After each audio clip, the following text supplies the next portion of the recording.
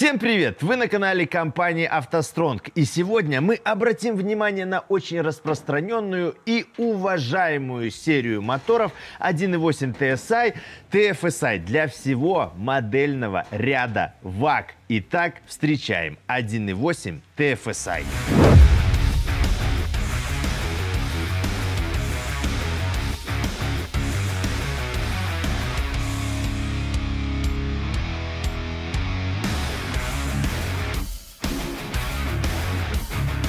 С этими TSI много путаницы. Сегодня мы будем рассматривать двигатель серии EA888 поколения 2. О чем вообще речь? Первый TSI TFSI у ВАГ относились к семейству EA113. У них ременной привод ГРМ, и выпускались они до 2007 года. Им на смену пришли двигатели, разработанные с чистого листа семейства, то есть серии EA888. И выпускаются они до сих пор, пережили более четырех модернизаций. У них крепкий чугунный блок цилиндров, непосредственный впрыск и цепной привод ГРМ. Цепей, кстати, в таком моторе три.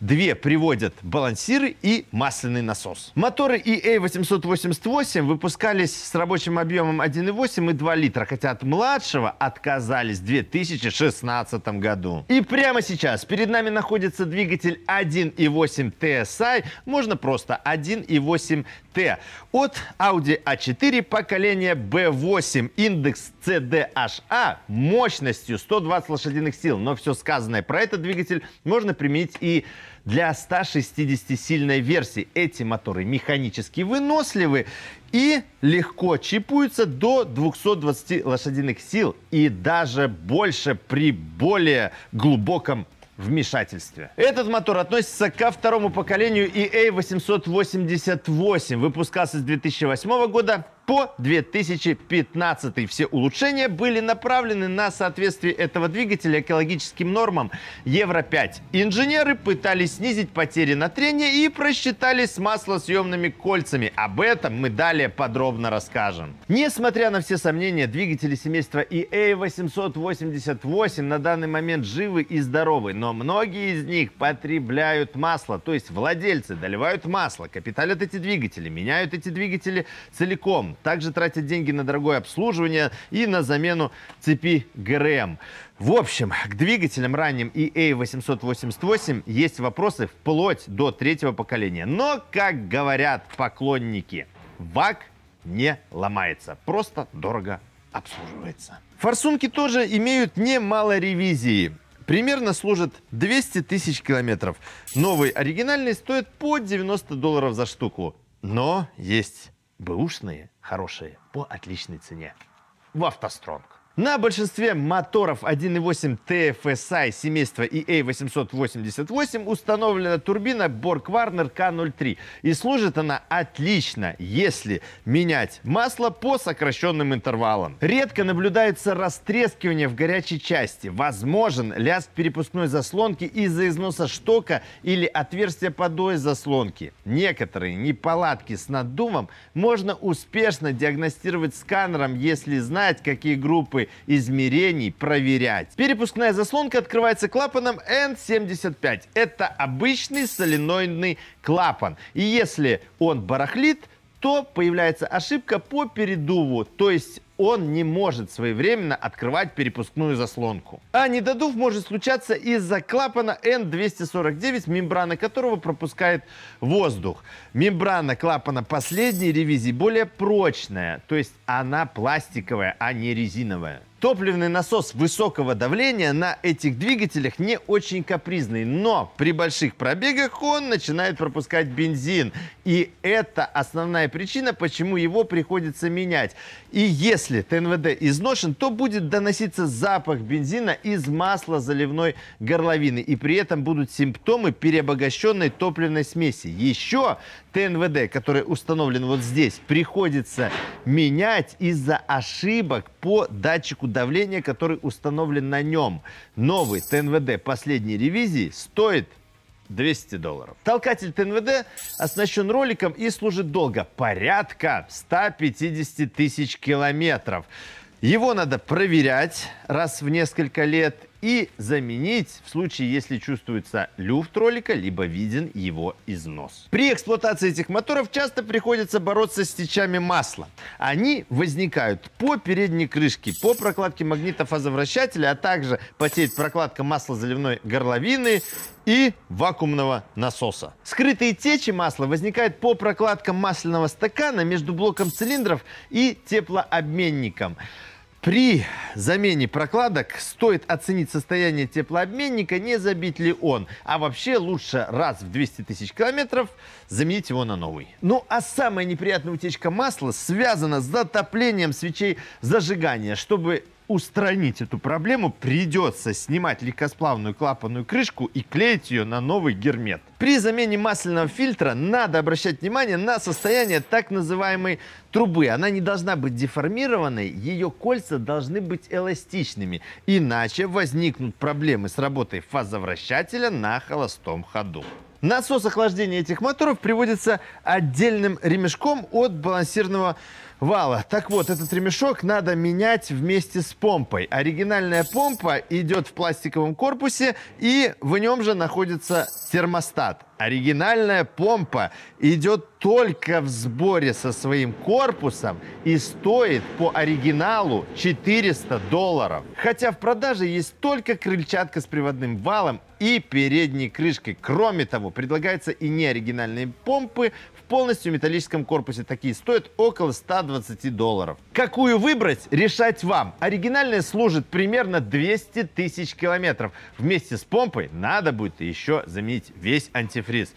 Знаете, что новые помпы и антифризы есть в автостронге. Во впускном коллекторе есть вихревые заслонки. Они закрываются на низких оборотах двигателя, уменьшая сечение воздушных каналов для того, чтобы ускорить поток воздуха. Заслонки приводятся вакуумным актуатором, управляемым электровакуумным клапаном.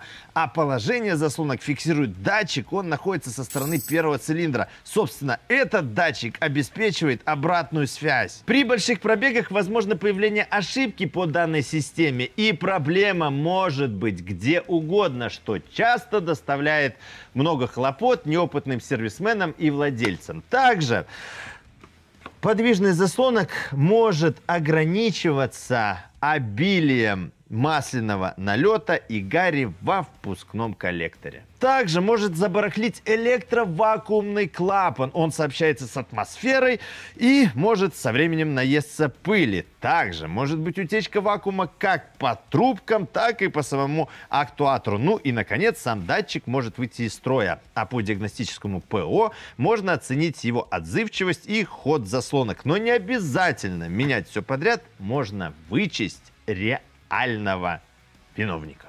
Ну а сегодня разобрать вот этот мотор и показать много всего интересного нам поможет ваш любимый Александр. Встречаем!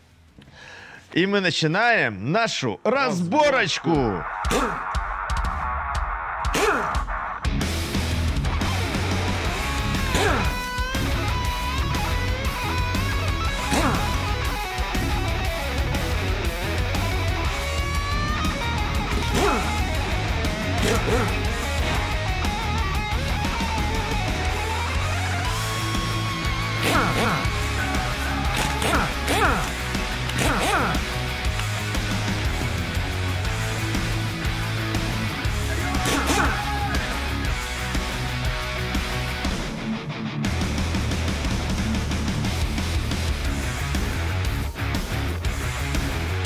Клапанной крышке этих моторов установлен маслоотделитель системы вентиляции Картера, а также регулирующий мембранный клапан. Так вот, этот клапан должен поддерживать разрежение в картере на уровне 25 миллибар. Это разрежение можно померить через открытую маслозаливную горловину при работающем двигателе на холостых оборотах. Мембрана клапана маслоотделителя лопается ну примерно раз в 100 тысяч километров. Появляется свист проходящего воздуха через трещину в мембране, появляются плавающие обороты и появляются предпосылки для быстрейшего закоксовывания маслосъемных колец. Все-таки достаточное разрежение делает так, что масло маслу легче проходить через маслосъемные кольца. Маслоотделитель последней ревизии стоит 160 долларов оригинальный. В продаже также есть много неоригинальных деталей, включая мембраны по 10 долларов. Можно использовать все, что угодно, лишь бы в картере было достаточное разрежение. Ну а теперь давайте по состоянию.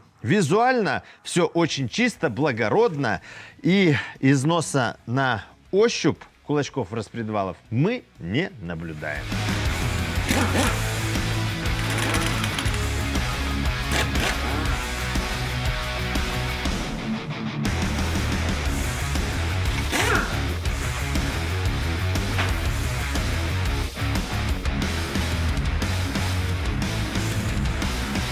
Цепь ГРМ у этих моторов прямо с завода оказалась неудачной. Вдобавок еще и натяжитель подкачал. Поэтому производитель выпустил и цепь, и натяжитель новой ревизии. Но все равно цепь приходилось менять при пробеге в 100 тысяч километров, ну максимум 130 тысяч. Для оценки ее растяжения надо снять заглушечку и заглянуть в смотровое окошко. Если шток натяжителя выдвинут на 6 стопорных канавок, то цепь в ближайшее время надо заменить. И, кстати, перескок цепи на два зуба этот двигатель переживет. То есть поршни и клапаны не встретятся, но появится ошибка по несоответствию положения распредвалов и коленвала. В самом начале видео мы рассказали про три цепи. Ну, а теперь давайте визуально. Вот эта цепь ГРМ, это цепь, которая идет на маслонасос, а вот эта цепь которая приводит балансирные валы. Сама цепь ГРМ стоит около 40-80 долларов, хотя встречаются и более дешевые неоригинальные варианты. Еще около 50 стоит цепь маслонасоса и балансирных валов. Три ее направляющих и три направляющих основной цепи – это еще около 100 баксов по оригиналу. Еще понадобится пара гидронатяжителей обеих цепей – это еще около 120 долларов. Если изношены зубья шестерен, то добавляйте еще пару сотен долларов, хотя в продаже есть неоригинальный комплект из шестерни коленвала по цене около 300. Добавьте сюда еще десяток мелких расходников и работу по замене цепи. То есть все это вам обойдется в цену примерно от 600 до 1000 долларов. Вдобавок, если двигатель установлен продольно, то вам придется разбирать весь передок машины и снимать все от бампера до радиаторов. Кстати, фазовращатель у этого двигателя один. И новым он продается вместе со впускным распредвалом и все вот это стоит космос.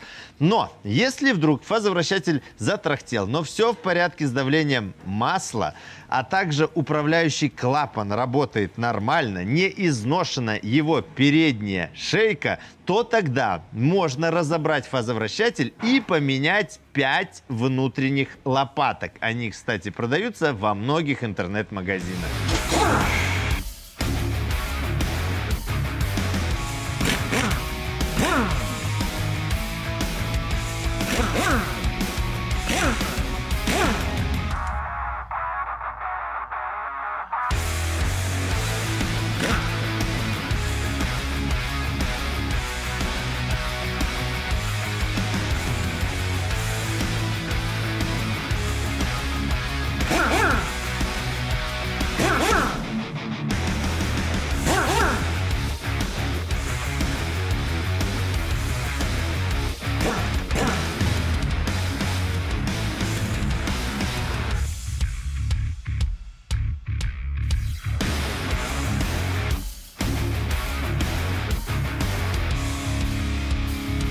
Каждые 100 тысяч километров надо очищать впускной коллектор и впускные клапаны от нагара. Нагар больше вредит именно впускным клапанам. Они перестают герметично закрываться. Вдобавок страдает кромка клапана и седло.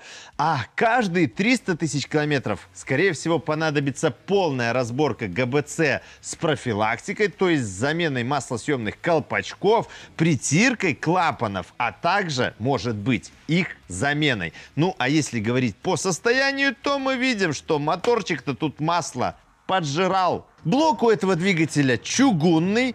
Если говорить о состоянии цилиндров, то хон просматривается, но никаких побежалостей и задиров в цилиндрах нету. Ну, нагар на донышках поршней.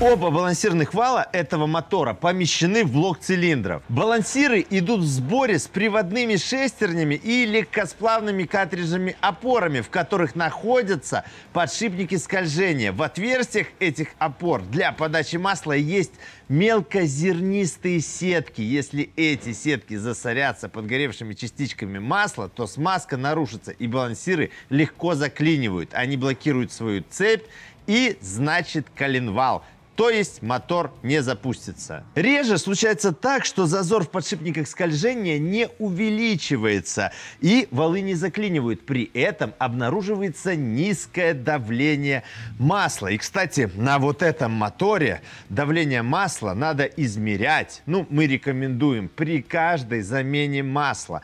Оно должно быть на холостых оборотах при прогретом до 80 градусов двигателе не менее 1,2 бар и более 3 бар при 3700 оборотов в минуту. А при замене цепи ГРМ и цепи балансиров нужно повращать балансиры рукой. Должно быть ни люфтов, ни заеданий.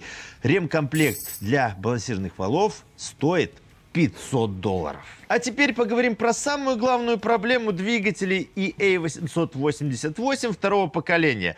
Так вот, эта проблема – это расход масла на угар. Причем эта проблема была изначально. Инженеры ВАК банально просто использовали неподходящие маслосъемные кольца коробчатого типа с крохотными отверстиями для отвода масла.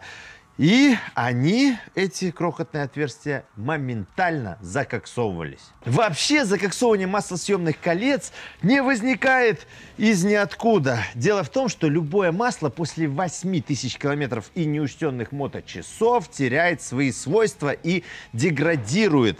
Образовывается кокс и сгустки. И вот именно этот кокс и сгустки и закоксовывают крохотные отверстия в коробчатых маслосъемных кольцах. Вообще, если менять масло каждые 5000 километров в этих двигателях, то никакого масложора не будет. То есть все отверстия, вот эти в коробчатых э, кольцах, будут отлично справляться со своей функцией. А вообще в борьбе с масложором инженеры ВАК вернулись к наборным маслосъемным кольцам, которые устанавливались в новые поршни с увеличенными до 1,2 мм компрессионными кольцами. Наборные маслосъемные кольца – это не цельный двойной профиль с насверленными в нем отверстиями, а пара раздельных колец с поддерживающим их расширителем. Этот расширитель абсолютно проницаем даже для старого масла. Его не так-то просто закоксовать. Но есть и другой выход. Поставить на такой мотор поршни от моторов первого поколения. Такие поршни никогда не были замечены в масложоре. У них увеличенное до полутора миллиметров второе компрессионное кольцо, а маслосъемное кольцо хоть и коробчатое, но с нормальными прорезями, окнами вместо крохотных отверстий. В общем, для кардинального решения проблемы жора масла в этих двигателях надо менять поршни. Но, разумеется, это делать бесполезно в изношенные на конус и эллипс цилиндры. И после замены поршней и колец нужно посадить двигатель на жесткую диету, а именно менять в нем масло каждые 5-7 тысяч километров. Некоторые мастерские предлагают некую двойную раскоксовку, и иногда такой метод тоже работает. Но и после него надо сократить интервалы замены масла. Ну и если говорить о состоянии, вы, наверное, все уже успели рассмотреть, то коренные вкладыши выглядят неплохо, шатунные тоже, и коленвал визуально неплохо. Верхние коренные вкладыши тоже выглядят хорошо. Кому интересно, в блоке есть масло форсунки. Вот такие вот удивительные моторы есть у концерна ВАК. То есть владельцы готовы нести траты на их обслуживание, ремонт, менять в них масло каждые 5000 километров. Ну а что вы скажете, владельцы? Могут ли автомобили этого концерна вознаградить вас за ваши усилия и расходы.